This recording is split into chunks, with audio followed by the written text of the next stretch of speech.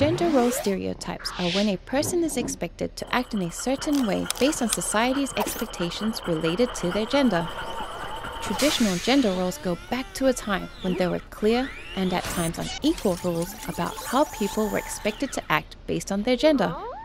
People who were born male were expected to be strong and aggressive, not emotional, and of course to love sports.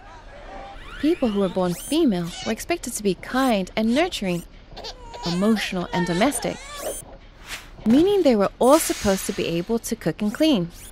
Gender role stereotypes also affect people's understanding of who is beautiful and who is not. People still go to great lengths to try and conform to these unrealistic ideals they see in popular media. They diet, obsessively exercise. Additionally, strict stereotypes about gender police people's emotions. Girls are not expected to show anger, and boys aren't supposed to be empathetic, nurturing, or vulnerable. Luckily, as times have changed, so have people's expectations about gender roles. More and more people are free to behave in ways that are true to who they really are, and that is a good thing.